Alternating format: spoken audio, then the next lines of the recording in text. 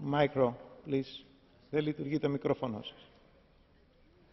Thank, thank, you indeed, President. Um, and I want to welcome uh, this resolution, this report, and congratulate Mrs McAvan for, for this work.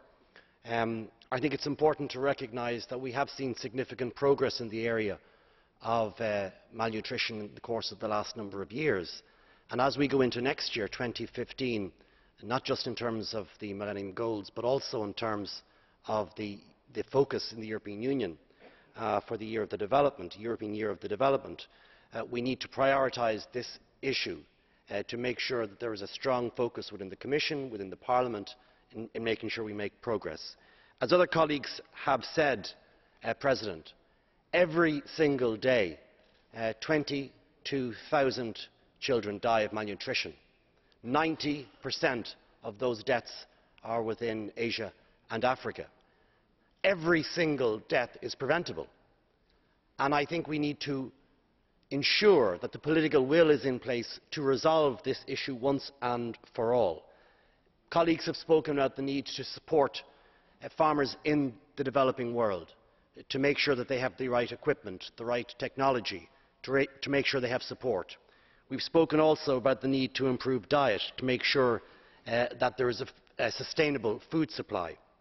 We've also spoken about the need to ensure uh, that discrimination, especially discrimination against women, is tackled within the developing world and the position of women in terms of education at home in the workplace needs to be tackled.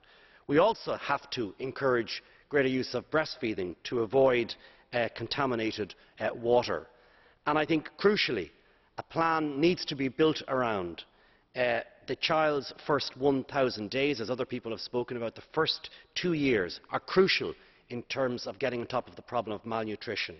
I think tackling food price volatility, food price uh, security is another issue that we need to address. And I, even though progress has been made, much more can be done. And if we resolve to do this together, working with other partners throughout the world, I believe that we can address this even further. Thank you, President. Σας ευχαριστώ. Και τώρα προχωρούμε στην διαδικασία Catch the Eye. Έχω δεχτεί αιτήματα από οκτώ συναδέλφους. Ε, μπορούμε να μιλήσουν όλοι, αλλά ζητώ να τηρήσουν όλοι το όριο του ενός λεπτού που προβλέπει ο κανονισμός, έτσι ώστε να μην ε, λείψει